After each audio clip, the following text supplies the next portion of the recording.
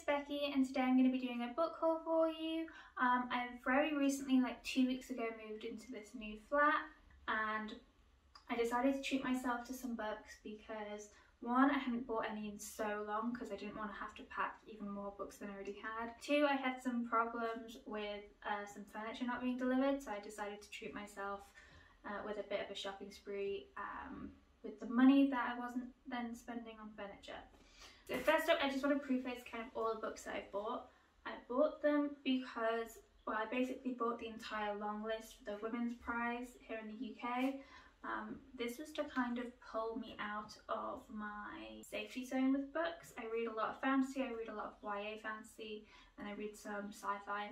And I will pretty much pick up any genre if, if it's in front of me and I'll read it. However, my kind of what I'm buying and what I'm picking up is more often than not kind of very safely in that YA fantasy or fantasy genre. So I looked at the long list and I was like, this is a wide range of books than what I'd normally read and I probably wouldn't have picked them up otherwise unless they were bought for me by someone else. So yeah, that's why I picked these ones up. And just to kind of preface it, I don't know about every single one of these books. I definitely looked at the list and went, okay I'll buy them as a treat for myself so do you kind of bear with me if I if I need to go away and read up on the blurb or something like that. first book that's come in the box is uh, Piranesi by Susanna Clarke. I don't know if that's how you pronounce that.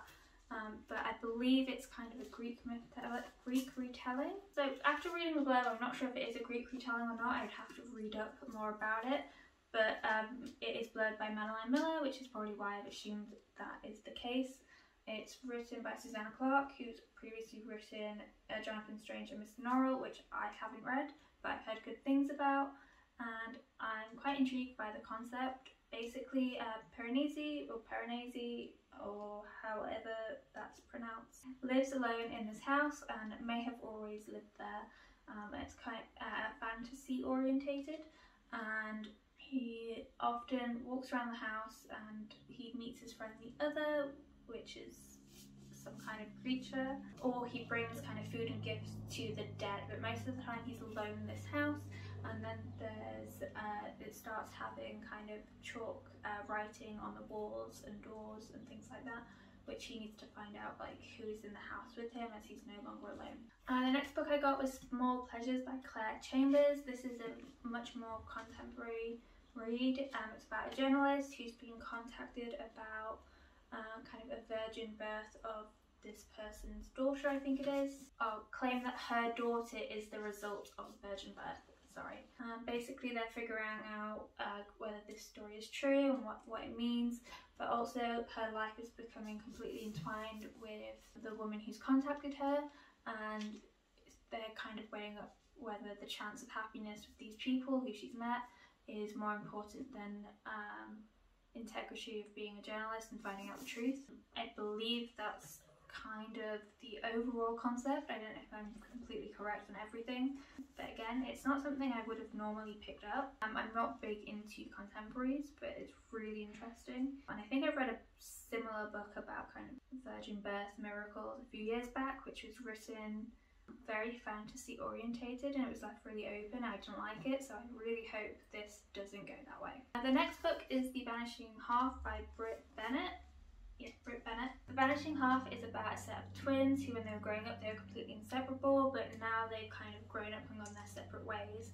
Um, basically the twins are black but they're white passing and so one of them lives uh, in a black community with her black daughter and the other one who has kind of took on that white passing and lives with her white husband and their family doesn't really connect with her black the black culture that she's grown up with. Um, and basically what I think happens is both their daughters end up meeting each other and their lives become entwined and then the two twins kind of meet up and have to kind of reform uh, whatever relationship they once had or maybe it goes completely wrong I'm not sure I've not read it yet but it's really interesting it's meant to talk about kind of relationships and family ties and between twins and sisters um, but it's also got a lot about race and gender in there as well. Okay, the next book I've got is Burnt Sugar by Avni Doshi and this is very similar to The Vanishing Half in that it focuses a lot on uh, family relationships However, this is between a mother and daughter. the mother, when they were younger, um, wasn't a very good mother in the eyes of the daughter, often following around kind of, um, I think it was a homeless artist. Yeah, homeless artist, had a brief stint as a beggar, um, abandoned her marriage um, for all of this and kind of took their kids around in tow. Um, and then the daughter who's grown up with this mother has kind of had to now take on the caregiver role as she's started to, I'm assuming, doesn't say exactly in the book, but I'm assuming from some kind of dementia. Um, and she's now taking care of her, and it's kind of flipped her head as she's now taking care of a woman who she doesn't feel a lot of positive emotions towards and explores that. Um, again, this isn't something I would have normally picked up. Um, and even like looking at the book itself, I probably wouldn't have picked it up if I saw it in the bookstore. Um, it doesn't look like the kind of book that I would have picked up even from a contemporary sense. It looks a little bit like it's going to be a poetry book, which it's not, but I'm quite excited to read it still, um, and I'm hoping it's good. Next up is Luster by Raven uh, Leilani. This is about a book, um, this book follows kind of completely different family dynamic again. It's about um, our main character who's kind of failed at her life so far in her eyes. Um, she works in kind of a dead-end job. She's given up what she loves, which is painting. And then she meets a man um, who's in an open marriage and who has a black adopted daughter. Um, she kind of runs headfirst into this life, into this family, um, and acts kind of like a second mother, I think, to this adopted daughter. I'm assuming there's lots of tension between her and the wife, as well as probably the husband and the child as well, who's because she's kind of jumping into their family. I've heard a lot of good things about this book before. Um, I've actually seen it on a lot of kind of must-read lists, so I'm really excited to read it. Uh, next up is Nothing But Blue Sky by Kathleen MacMahon, and this is a book about relationships again. It's about a husband who, after 20 years of marriage, has lost his wife and in kind of the grieving process he realizes that one he relearns his love for her but also realizes that she may not have loved him the way that he thought and kind of that grief comes anew as well. Um, again, like this is not something I would have picked up. Um, I normally shy away for anything with like kind of married couples just because it's really not something I can relate to right now. However, I'm interested to read this and read it and compare it to the other books on the long list. Just about the kind of writing quality, the writing style, to see kind of the differences in it, um, and also the in-depth relationship analysis because we're going to be seeing the story from mostly, I think, one side from the husband figuring out what his wife thought of him, uh, which I think is a really unique take on it. But again it's not the genre I normally read so if it's not unique please just maybe don't rip into me too much. And then the last book in this box, which I put over there, is Unsettled Ground by Claire Fuller. And I'll be honest, I was definitely into this book from the cover and I have no idea what it's about, so let's read the blurb. Fairly similar to the Vanished Hearth, I think it's called yeah, The Vanished Hearth. This is about a story of twins, uh, but rather than separating, these twins have lived together their entire lives. They're in their 50s now, and they still live with their mother. Um, they live in kind of poverty. A lot of the things they do every day is to survive. They grow things in their garden. Um, they paint, um, and they're very, you know, isolated where they are. And when their mother dies, they kind of have threats, I'm assuming, um, against the house and where they live, and they have to come to terms with figuring that out. Very similar to the last book, Nothing But Sky, um, Nothing But Blue Sky. I don't actually know what's going to go on in this book from the blurb, but I'm really intrigued to see kind of the relationship aspect similar to the last one, and also judge it compared to the rest of the long list and see if it's a book that's going to keep in my mind for years to come or not. So next up is No One Is Talking About This by Patricia Lockwood. This is a book about a woman who's kind of like a social media viral star and their life is very focused on that until their mother kind of texts them and says I need you to be here right now, there's an emergency. um, where kind of the life online or what she's kind of called the portal mixes with real life and kind of puts a lot of tension on her. The blurb doesn't really tell you what's happened or anything like that, so I'm really intrigued to find out what that is. But like I said, like it's a really thin book. I could probably read this in a day if I tried. It's about 200 pages, quite big text. So yeah, I'm probably going to get to this sooner than the others just because I think I can smash through it. Um, and I'm just really intrigued to see what happens. And then next is Transcendent Kingdom by Yaa Gyasi. And this is a book about, again, family. Um, we have a, our main character whose parents, I think it was from Ghana to the, yeah, from, they had to travel from Ghana to Alabama and she keeps asking the story to be told to them. However, her brother and her father kind of slip away, disappear, die, I'm not fully sure, but basically the family just ends up being her and her mother, and she has to learn to live with that and live with their joint trauma, um, both from the past in that they had to, you know, go to the deep south, um, but also in the future and the present day as well. Um, very similar to a lot of the other books on this list, there's a lot of focus in this book about relationships and family. Um, and again, it's a mother-daughter relationship as well as kind of exploration of kind of their father and their brother too. I'm also interested to read it because, you know, there's that kind of deep south mentality, there's a lot of racism in there, um, and to see how they overcome it and what, what this book actually talks about. And similar to the last book, this is a really thin hardback. It's about 200 pages, so I could probably get through this quite quickly. Um, so I'm really interested to get stuck into it. And I'm going to put it down before I start filming the video. Um, the final book from that parcel is The Golden Rule by Amanda Craig. This, I don't know why, the book just reminds me of the front of um, the Boy in Striped Pajamas. Well, I do know why uh, but this is nothing like that. Um, so this book is about two women who meet on a train. One of them is very poor and her husband has left her. She's become a cleaner to try and pay the bills in London. And then the other one is a lot richer but kind of hates her husband as well. And they agree that both of them are going to kill their husbands um, for each other because there's no connection between them. But when Hannah, our main character, gets to the house to kill the husband, um, she finds out that maybe the woman she's met on the train is very different to what she's like in kind of her normal everyday life, especially with her husband.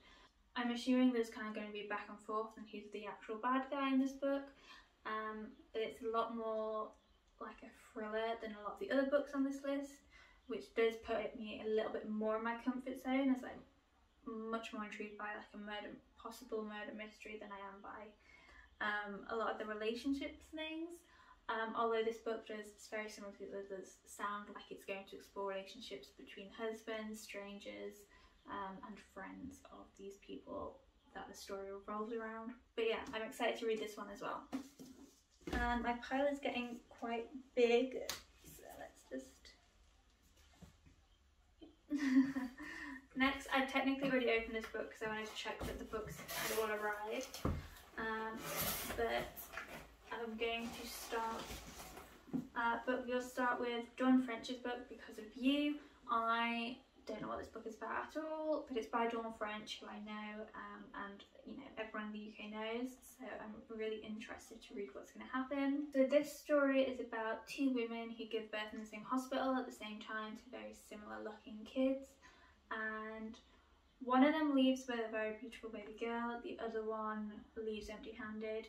Um, I'm not fully sure on whether this is from kind of a, you know, problem with uh, one of the kids dying or whether it's um, they took the wrong kid or something like that.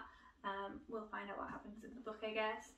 I'm assuming it follows the two women as they kind of get over the grief of one of them's grief of losing a child and also um, possibly finding a new one. And also the blurb is just really well written because I genuinely, like this is, so this, I genuinely want to start reading this right now to find out exactly what happened to the kid and like what the plot's gonna be.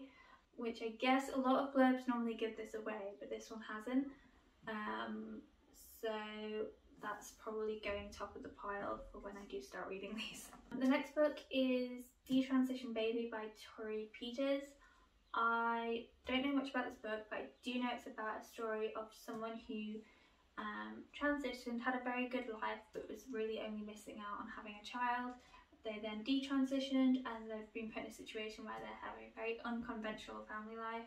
Um, there's a pregnant woman in it, and there's also someone else involved. Um, we kind of see um, how they come together to become a family for the child. Um, that's all I really know about the book.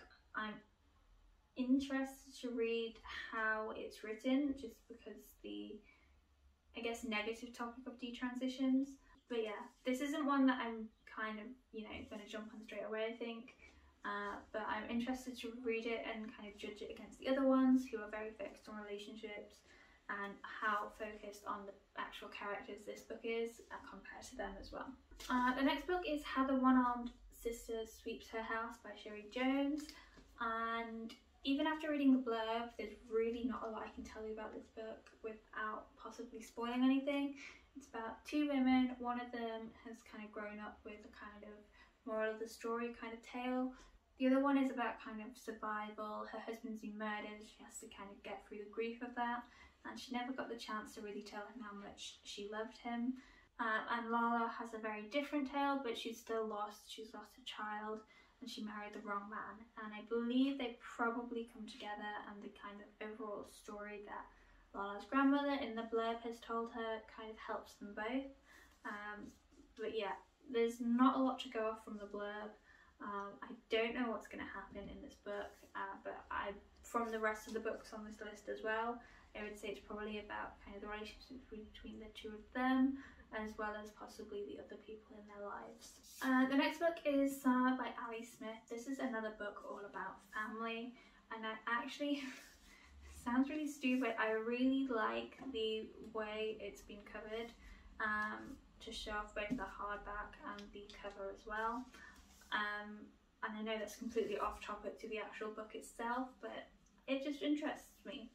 And uh, but yeah, this is a book about family. There's mother, father, brother and sister and it's set in summer and kind of the, a lot of changes that are happening within that month or season even. And that's about it. That's all I really know. Unless there's more on the back. No, there's not more on the back. What I do know is that Ali Smith has wrote three other books called Autumn, Winter and Spring. And that's, that's the last one and she focuses very heavily on these kind of family dynamic books. Um, so I'm really interested to read what she has for this one. Um, and then the, I believe this is the last one. One, two, three, four, four, five, six, seven, eight, nine, 10, 11, 12, 13, 14, 15. Yeah. So, and then this is the last one from the long list of Women's Prize. It's Exciting Times by um, Naiz Dolan. Um, so this book is about a young girl who's gone on not a gap year but she's gone out to Hong Kong for kind of a low paying job for experience.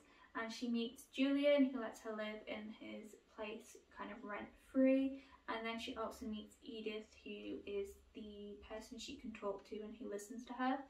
And it kind of explores the different relationships they she has with both of them as well as you know growing up and coming of age in this non-gap year time of her life. I don't know if I would have picked this up if it wasn't on this list uh, and it's very focused on relationships and the sun's just gone in if the lighting has just gone askew uh, but I'm really interested to read this um, and find out what's happening um, and again like see what it's like compared to the rest of them and talking about relationships and different things like that. And I believe that might be the one that makes this pile full. No? Okay. And then last but not least, and not on the long list prize, I also picked up The Defining Decade by Meg Jay. This is all about kind of what you should be doing in your 20s and how to make them matter. It is a bit of a self-help book, but I've been seeing this around a lot and it's been kind of said that it's really good. Um, there's a TED talk on it. Um, I'm midway through my 20s now, so I thought I might as well pick it up, see if it helps me, see if that helps me work on my life and kind of sort my shit out. Um, but yeah, that's all I really picked it up for. Um, but I bought it with the recipes, which is why it's in the box with them. And so yeah, that's my pile of hauled books this month. I should not be buying any more for the foreseeable future, especially since I don't even have bookshelves um, in my uh, room so far. Um, hopefully some of you have maybe read some of them. If you want to let me know what you thought of them, please do let me know in the comments below. But don't spoil any of them as I do want to be surprised. And um, yeah, if there's any of you which you think, you know, I should definitely get to sooner rather than later, let me know. And I will update you what I think of all of them too. Uh, thank you for watching and I hope to see you again next week.